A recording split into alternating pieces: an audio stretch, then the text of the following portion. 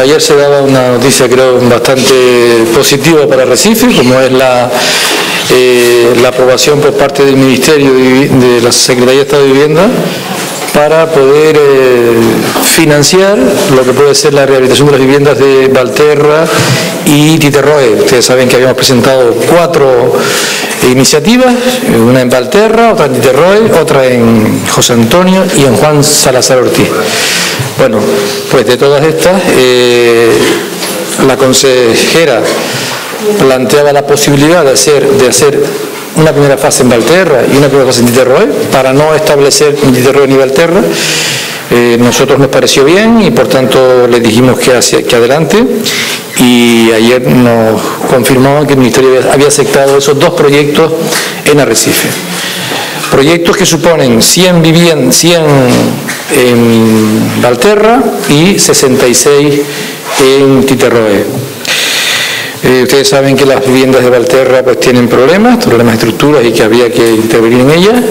Y yo creo que con esto vamos a dar solución a un problema mm, importante que tenemos en Valterra y que fundamentalmente haremos llegar a todos los vecinos, a esas 650 personas que se van a beneficiar de esto, le haremos llegar, le informaremos, le haremos mm, reuniones con ellos, tanto el concejal don Joel como el teniente alcalde y yo, y la corporación trataremos de informar al máximo todo lo que se va a hacer, cómo se va a hacer, con todas las garantías de lo que se va a hacer y en qué va a consistir los proyectos para que tengan la tranquilidad de que se haga. Esto se ha hecho ya en otras islas, se ha hecho en La Palma, se ha hecho en Fuerteventura, en Gran Canaria, en Tenerife, se han realojado a, otros, a otras viviendas temporalmente del mismo proyecto, de la misma financiación, y luego cuando se terminan las fases, vuelven a, su, a su vivienda. Lo que hemos conseguido, lo que se ha conseguido, y yo tengo que felicitar a todo el equipo de, vivienda, a Joel, a la cabeza y a todas las personas que han estado trabajando, porque hemos conseguido, ya habíamos presentado una iniciativa concretamente de Roe, pero en esta ocasión se presentaron cuatro, se sacaron las memorias programa, se elaboraron, se presentaron y a partir de ahí yo no puedo sino felicitar a todo el equipo que ha estado trabajando en esto porque es algo realmente importante. Yo creo que es una de las actuaciones quizás más importantes que podamos llevar a cabo en estos cuatro años, porque estamos hablando de unas inversiones en torno a 20 millones de euros. Unas inversiones que van a suponer pues, eh, que durante cuatro años pues, vayan a estar trabajando de forma directa o indirecta unas 600 personas. Yo creo que la situación, todos sabemos que el restaurar viviendas y, ponerlas en marcha, pues ahí se beneficia pues, los carpinteros, se benefician los electricistas, se benefician pues, los albañiles, que es donde más dificultades hay, en fin, se benefician en general eh, todo el sector de construcción, genera mucho empleo, ya digo, son en torno a 600 empleos lo que puede suponer esa actuación.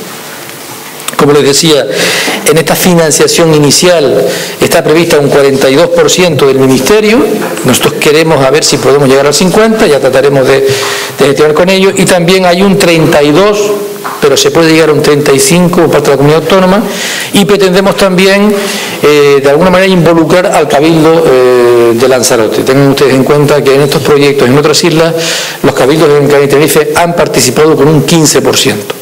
Bueno, nosotros lo que vamos a tratar es de que eh, el Cabildo de Lanzarote pues también eh, participe eh, con nosotros en esto. Yo mm, he hablado con el presidente del Cabildo y lo que tengo que decir es que ha manifestado buena predisposición para ello. ¿no?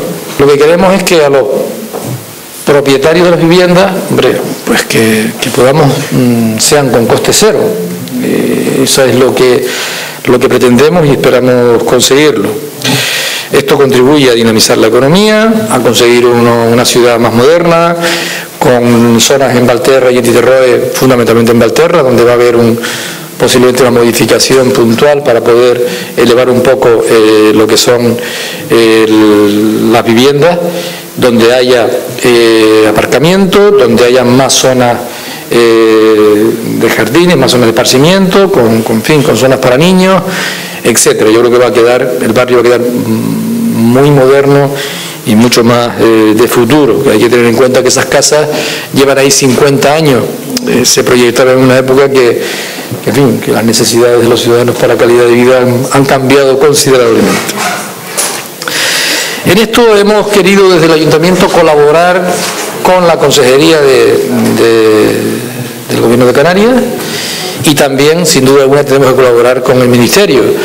Eh, el promotor de todo esto es el ayuntamiento y bueno, lo que hacen es que la ley establece que normalmente el Ministerio llega hasta un 50%, la comunidad autónoma hasta un 35% y el resto normalmente es cabildo, ayuntamiento y eh, vecinos, pero que eh, entendemos que los vecinos vamos a tratar de que no, de que no les suponga nada. ¿no?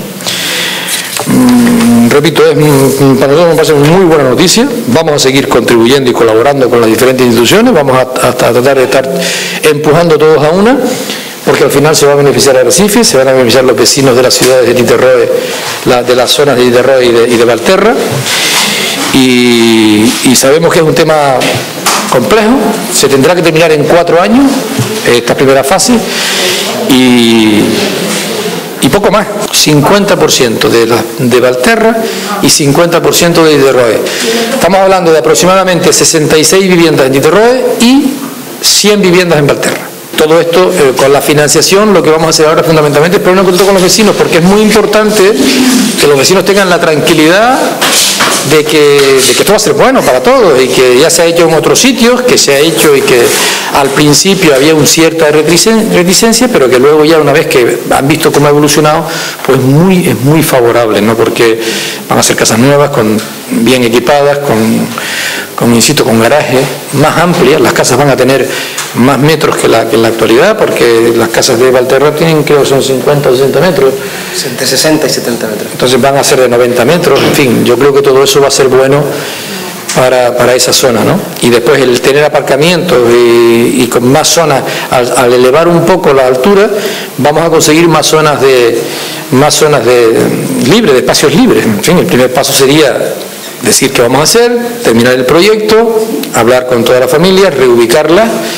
El proyecto en sí corre con los gastos de todo ese desalojo y, serán por fases, lógicamente. Habrá una primera fase y una segunda fase. Hay que realojar, se supone que es lo más cercano posible a esa zona, pero donde haya. Hay una ayuda de 4.500 euros dentro del programa que va, que va destinado precisamente a, cuestiones de realojos temporales. Es decir, los vecinos tendrán la potestad y la, y la capacidad de decisión para decir dónde quieren residir mientras duren las obras en su vivienda. 4.500 euros anuales, prorrogables en el caso de que la obra pues, sufra algún, retraso. El proyecto, como sabes, lo va, lo va a elaborar quien ganó en su día la memoria programa, porque eso es lo que estaba previsto en, los pliegos de condiciones.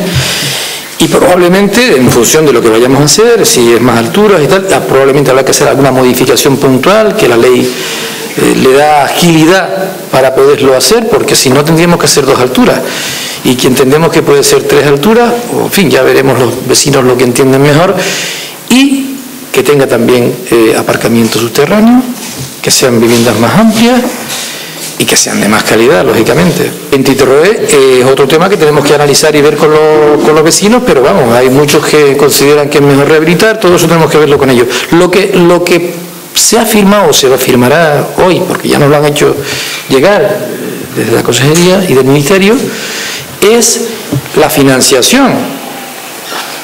Por menores que van a haber, tendremos que, desarrollarlo a partir de ahora con la mayor colaboración con los vecinos, con la mayor publicidad, con la mayor información de todo lo que se va a hacer. Los cuatro años son para la, fase, la primera fase de Valterra y la primera fase de Titerroe. Tendrá que ser, a no ser que encontremos financiación previa.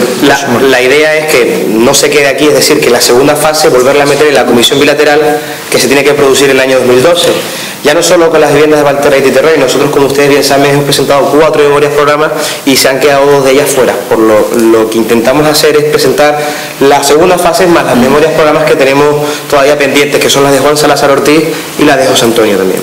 Es decir, en la próxima comisión bilateral que se celebre en el año 2012 irán no solo la segunda fase de esta intervención, sino también la de Juan Salazar Ortiz y la de José Antonio, más alguna que otra que podamos hacer a lo largo del próximo año. Toma esto, este tema hay que decirlo con toda, la, con toda la, claridad, es un tema complejo, porque hay que rehabilitar a la familia, tenemos que ponernos de acuerdo, porque hay, en fin, no es un tema que se dice mañana empezamos a construir y hacemos allí un bloque, no, no. Tenemos la financiación, ahora podemos hacerlo. Los plazos nos lo marcan que es obligatorio, es decir, tenemos los seis primeros meses para redactar el proyecto, la empresa tiene los seis primeros meses para redactar el proyecto, para ponernos de acuerdo con los vecinos en cuanto a la actuación que queremos llevar a cabo y en el segundo semestre estaría previsto que se iniciaran las obras y el realojo de esta, de esta familia.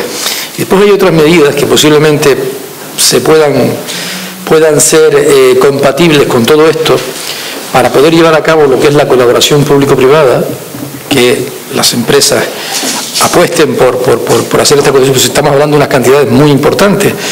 Entonces, estamos viendo, pues, tendrá que ver, la posibilidad de que se cuente con algún tipo de, de actividad en esa zona que nos permita la colaboración público-privada. Cuando estamos hablando de esto, estamos, podemos estar hablando de, centros de día para mayores, o estamos hablando de guarderías, o estamos hablando de algún tipo de actividad que es compatible con la construcción, pero que a su vez dinamiza lo que es el, el barrio y nos permite poder financiar, porque hay que ser conscientes de que esto es una inversión muy importante.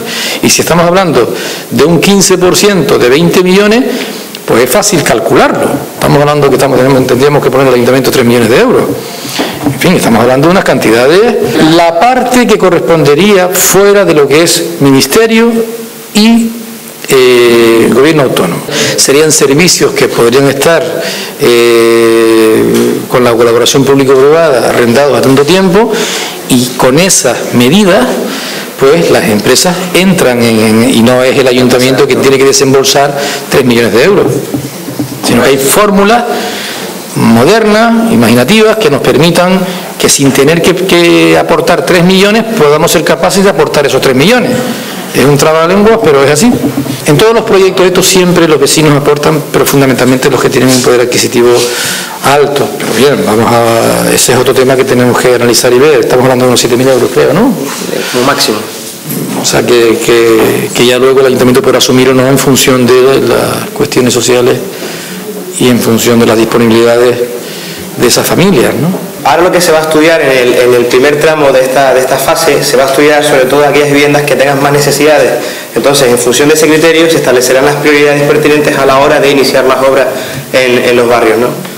Eso es lo, fundamental y el criterio que se va a tener más en cuenta. Es decir, el estado estructural de aquellos grupos que carezcan pues, de esa seguridad y de habitabilidad con, que tienen que tener. ¿no? Aquí lo que prima con, respecto a la problemática que, que explicas tú es sencillamente que tiene que primar el, interés general y que es un problema que lleva arrastrando la ciudad de Acceso muchísimos años.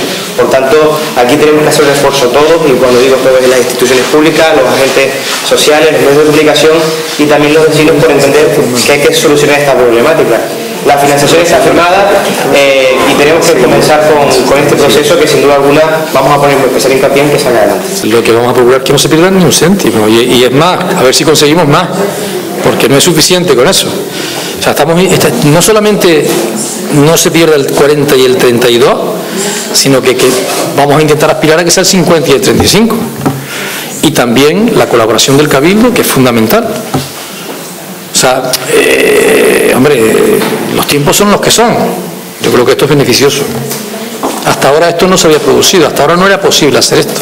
A partir de ahora es posible hacerlo.